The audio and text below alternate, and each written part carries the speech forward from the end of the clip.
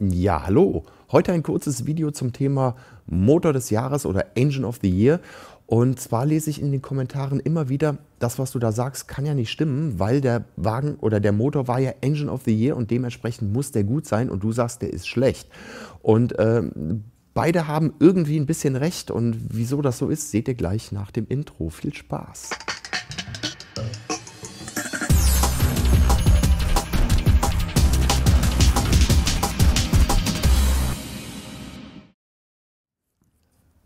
Ja, um das Thema aufzurollen, äh, müssen wir ein bisschen ausholen und ich muss mal auf eine Krücke zurückgreifen, um das zu erklären, weil anders kriege ich da einfach keinen Pack an. Und zwar hiermit, das ist ein Nougat-Kringel und keine Panik, ich werde ihn nicht essen. Also ein Nougat-Kringel, sehr lecker, unheimlich süß, äh, prima Sache. So, und wenn ihr den jetzt bewerten wollt, dann kann man ihn halt unterschiedlich bewerten. Und zwar kann man einfach sagen, okay, wie findet ihr den Nougat-Kringel? Und da sagt der eine, ja, den Nougat, ich mag Nougat, ich finde das toll.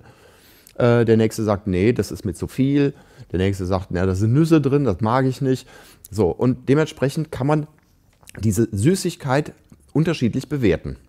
Aber es ist ja nicht nur eine Süßigkeit, es ist ja auch ein Lebensmittel. So, und jetzt könnte man es auch wie ein Lebensmittel bewerten und sagen, okay, ist das Ding nahrhaft? Naja, nahrhaft ist es, aber es ist nicht gesund. Es ist zu fettig, es ist zu viel Zucker drin. Also da müssen wir Punkte abziehen, weil es ist eben, es sind wenig Ballaststoffe, es ist ungesund einfach. Also als Lebensmittel könnte man da Abzüge bringen. Also Thema Nougat-Kringel ist jetzt klar.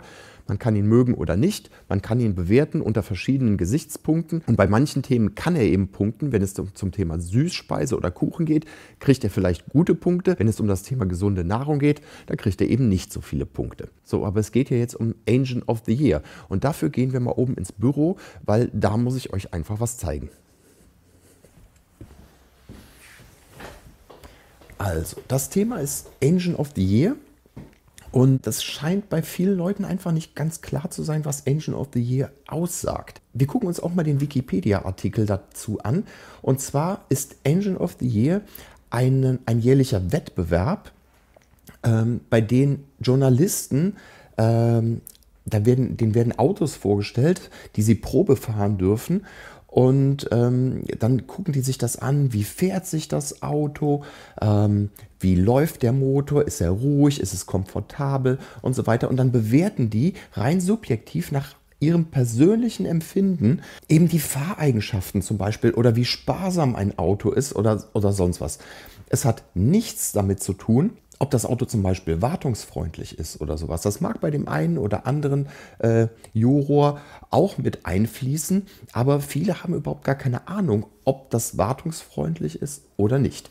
So, und wenn wir uns dann hier diesen äh, Artikel mal angucken, dann stellen wir fest, das hier war der Aufhänger von der ganzen Geschichte. Und zwar ich hatte in einem Video oder in mehreren Videos über den Ford EcoBoost Motor ein bisschen gezetert und habe meinen Unwillen über diese Konstruktion kundgetan. Daraufhin haben sich ganz viele gemeldet und haben halt sowas geschrieben. Hier zum Beispiel in diesem Kommentar, sieben Jahre in Folge Engine of the Year ist schon einmalig. Also Punkt 1, sieben Jahre in Folge ist falsch und einmalig ist das auch nicht. Jetzt der Hinweis auf zigmal Engine of the Year. Hier kommt der Hinweis, wie oft war der Motor Engine of the Year? Fünfmal? Nein, sechsmal. Das gucken wir uns jetzt gleich mal genauer an und das geht eben endlos so weiter. Und ich meine, Sie haben ja auch recht. Sie, EcoBoost, könnt ihr hier sehen, war Engine of the Year äh, 12, 13, 14, 15, 16, 17, weil er wirklich fantastisch fährt. Das habe ich auch nie abgestritten. Aber guckt euch das hier an da taucht auf einmal ein 1,4 Liter TSI-Motor von VW auf. Und ähm, wenn, ich jetzt, wenn ich jetzt hier sage, das ist das beste Stück Motor, was VW jemals konzipiert hat, ähm, und, und dann auch noch sagen würde, das ist mein absoluter Ernst, dann werden hier die Kommentare hochschnellen, mit Leuten, die das eben nicht so finden. Und ich sag mal, der TSE-Motor hat ja so seine Schwächen. Da brauchen wir nicht drüber zu diskutieren. Aber der war 2006, 7, 8, 9, 10, 11, 12, 13, 14 war er immer Engine of the Year. Neun Jahre in Folge war der ähm, Engine of the Year in, in, seiner, in seiner Gruppe hier äh, von 1 Liter bis 1,4 Liter. Trotz der Problematik Steuerkette, trotz der Problematik ähm, äh, Kolbenringe, trotz der Problematik dies, das, verkokte ähm, Saugrohre, was auch immer. Engine of the Year. Super Ding. So, das, das ist das, was ich euch sagen will. Also Engine of the Year hat nichts damit zu tun, ob das Ding wartungsfreundlich ist, ob das besonders lang hält oder sonst irgendwas. Ähm, das sagt nichts aus. Und gerade was den EcoBoost-Motor angeht, dann höre ich euch schon sagen, aber, aber, ähm, der ist doch im 100.000 Kilometer Test von, ähm, äh, von Autobild gewesen. Auch das können wir uns gerne angucken. Die Stunde der Wahrheit für jedes Dauertestfahrzeug bei Autobild. Die Zerlegung steht an nach absolvierten 100.000 Kilometern. Der lange Rede, kurzer Sinn. Ähm, dieses Video werde ich euch natürlich verlinken. Ihr sollt es gerne euch angucken. Ähm, da ist eben ein EcoBoost-Motor, beziehungsweise natürlich nicht nur der Motor, sondern ein Fahrzeug mit einem EcoBoost-Motor gefahren worden und ist dann nachher von Leuten von der Dekra auseinandergenommen worden zum Beispiel. Äh, und dann ist geguckt worden, wie gut hat er sich denn geschlagen über diese 100.000 Kilometer. Und er hat sich sehr, sehr gut geschlagen. Er hat sich gut geschlagen. Aber aber ähm, diese äh, 100.000 Kilometer hat dieser Wagen in zwei Jahren zurückgelegt. Das heißt, dieser Wagen war zwei Jahre im Einsatz. Also ein Vielfahrerfahrzeug. So, und es besteht unter Umständen ein Unterschied, ob das nun ein, Vielfahr also ein Vielfahrerfahrzeug ist, also ein, ein Langstreckenfahrzeug oder ein Kurzstreckenfahrzeug.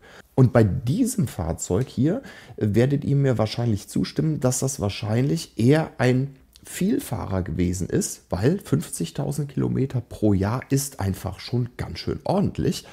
Und ähm, dass diese Motoren, ein 1 Liter Benzinmotor, normalerweise nicht von Leuten gefahren wird, die 50.000 Kilometer pro Jahr fahren.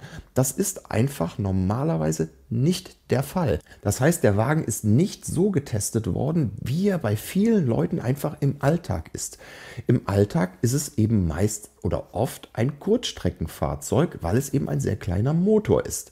So, und da ploppen auf einmal andere Problematiken auf, die hier einfach keine große Rolle spielen und muss man einfach so sagen. Wie gesagt, das Video verlinke ich euch in der Videobeschreibung. Das könnt ihr euch angucken. Es ist sehr interessant. Wie gesagt, es ist auch wieder beeindruckend, wie gut er sich geschlagen hat. Aber wieder, es ist eben ein, ein einzelnes Fahrzeug. Es ist nicht repräsentativ.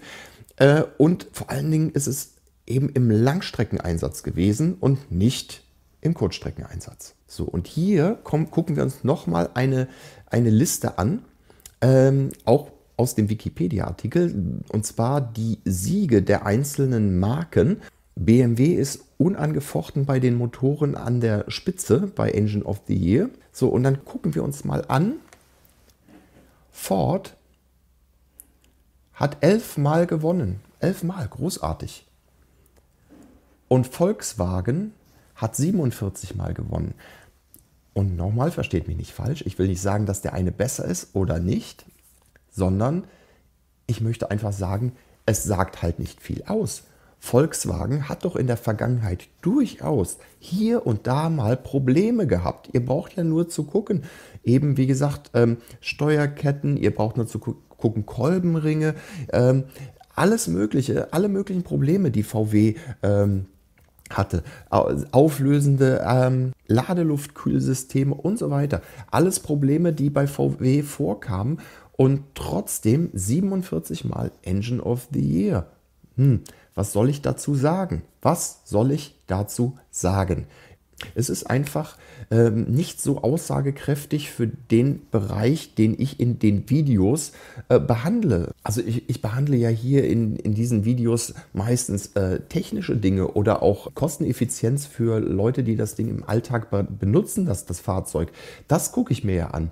Äh, und ich gucke mir eigentlich nicht an, ob das Ding laufruhig ist oder, oder ob ob, ich, ob der ein gutes Durchzugsverhalten hat oder sonst was. Dafür müsst ihr Automotorsport TV gucken. Das interessiert mich ehrlich gesagt nicht. Das muss auch jeder für sich entscheiden, ob er mit einem Auto gut zurechtkommt oder nicht. Ähm, mich interessiert nur, Seid ihr zum Beispiel Fahranfänger? Habt ihr gerade, weiß ich nicht, seid jetzt 19, 20, keine Ahnung, wollt euch ein, ein, ein, gebrauchtes Auto kaufen? Könnt ihr das kaufen oder kauft ihr da die Katze im Sack? Das sind die Dinge, die mich interessieren und nicht die Dinge, die die Leute hier interessieren, die hier Engine of the Year wählen. Und da sind wir wieder bei dem Donutkringel. Der Donutkringel kann total fantastisch sein, wenn man eine Süßspeise haben will. Aber ähm, wenn man sich gesund ausgewogen ernähren möchte, dann ist der, äh, der, der Nougat-Kringel eben nicht die erste Wahl. Und wir gucken uns einfach die, diese Motoren mit unterschiedlichen ähm, Augen an und mit unterschiedlichen Maßgaben und äh, dementsprechend kommen wir auch zu unterschiedlichen Ergebnissen. Es heißt ja nicht, dass deren Bewertung falsch ist. Es heißt auch nicht, dass meine Bewertung falsch ist. Es heißt auch nicht, dass eure Bewertung falsch ist. Ähm, wenn ihr einen EcoBoost fahrt und seid damit zufrieden, ja, dann ist es doch hervorragend. Wenn ihr einen TSI fahrt und ihr seid damit zufrieden, ist doch bestens. Das Problem fängt dann an, wenn ihr so ein Fahrzeug fahrt und seid nicht mehr zufrieden. Ich kann ja nicht mehr machen, als auf Probleme aufmerksam machen, die mir so auffallen in der Werkstatt. Und äh, wenn es euch betrifft, dann ist gut. Und wenn es euch nicht betrifft, dann ist auch gut. Dann hakt es einfach ab. So, genug der Thema Engine of the Year. Ich hoffe, das Video fandet ihr gut und interessant. Wenn ihr das Video gut fandet, würde ich mich über einen Daumen hoch freuen. Über ein Abo, das ihr hier über das Logo hinterlassen könnt, würde ich mich sehr freuen. Rechts und links geht zu meinen anderen Videos. Ansonsten vielen Dank fürs Gucken, macht's gut, bis bald und tschüss.